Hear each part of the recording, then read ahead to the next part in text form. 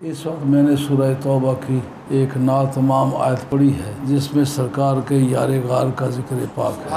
اللہ۔ کریم فرماتے ہیں اللہ تنصروہ فقد نصر اللہ اگر تم اس کی مدد نہیں کرو گے تو بگڑے گا کیا؟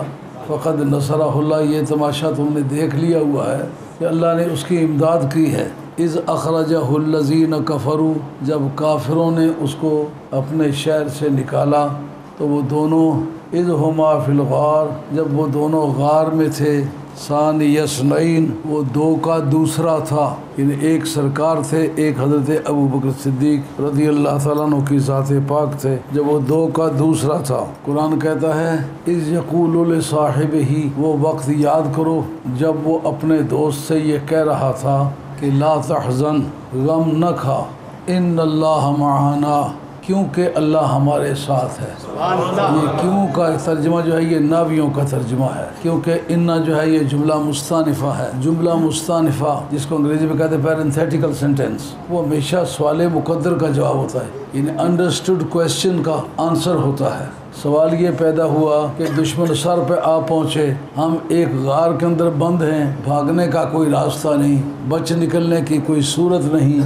تو اب لا تخزن کہہ رہے ہو کہ غم مت کھاؤ۔ رب کہتا ہے، غم نہ کھانے کی وجہ یہ ہے کہ ان اللہ معنا، اللہ ہم دونوں کے ساتھ ہے۔ یہ جملے سرکار کے قانون کی نظروں میں، انصاف کی نظروں میں، ایمان کی نظروں میں بڑا وزن رکھتے ہیں۔ نبی کو ایک کلام کی تعلیم رب کی طرف سے ہونا اس کی سچائی دو مرتبہ مسلم ہے۔ ایک تو نبی خود سچی بات کرنے والا ہے۔ دوسرا رب کے حکم سے جب بات کرے تو رب کی سچائی نبی کی سچائی میں شامل ہو جاتی ہے۔ واقع غار بیان کیا اور کس کے حوالے سے کیا؟ حضرت ابو بکر صدیق رضی اللہ عنہ کے حوالے سے کیا۔ کہا تم میرے محبوب کی اگر مدد نہیں کرو گے تو ہوگا کیا؟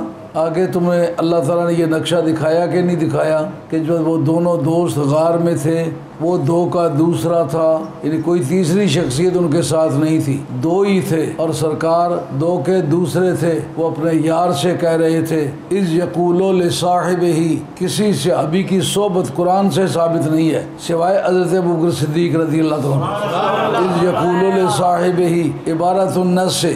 یعنی ایکسپریس پروویژن جس کو آپ کانسٹیٹیوشن کی زبان میں کہتے ہیں۔ ایکسپریس پروویژن میں جس کو صاحب کہا ہے وہ صرف حضرت بکر صدیق۔ اس لیے جو حضرت ابو بکر صدیق رضی اللہ کی صحبت کا منکر ہے وہ کافر ہے۔ اس لیے کہ آپ کی صحبت قرآن سے ثابت ہے۔ کہا کیا؟ کہ غم نہ کھا۔ ایک ہے خوف، ایک ہے غم۔ خوف اپنی جان کا ہوتا ہے، غم یار کی جان کا ہوتا ہے۔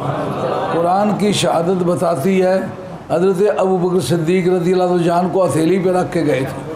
اس لیے ان کو اپنی جان کا خوف نہیں تھا۔ سرکار کی جان کا غم تھا۔ رب نے کہا، میرے بارے میں غم کھانے کی کوئی ضرورت نہیں۔ وجہ اس کی کیا ہے؟ وجہ اس کی یہ ہے کہ اللہ ہم دونوں کے ساتھ ہے۔ جب سرکار دو عالم علیہ السلاۃ والسلام فرماتے ہیں، ان اللہ معنا، اللہ ہم دونوں کے ساتھ ہے۔ اس کا مطلب یہ ہے کہ حضرت ابو بکر صدیق کی ذات پاک کا ایمان مشکوک ہوتا تو کبھی معنی نہ کہتے۔ سرکار نے جس طرح اپنا ایمان کی تصدیق فرمائی، اسی طرح حضرت ابو صدیق رضی اللہ کے ایمان کی تصدیق فرمائی۔ اللہ ہم دونوں کے ساتھ ہے دونوں سچے ہیں۔ میں محبوب خدا ہو کے سچا ہوں۔ تو یار محبوب خدا ہو کے سچا ہے۔ اس لیے نہ تجھ میں کچھ فرق ہے نہ مجھ میں کوئی فرق ہے۔ اللہ۔ ہم دونوں کے ساتھ ہے۔ اس نے کیا ثابت کر دیا؟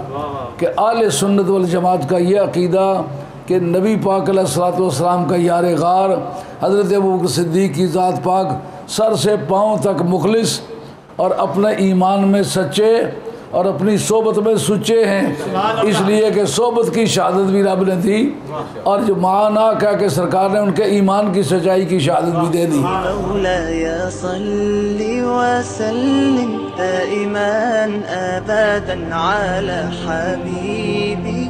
خير الخلق كلهم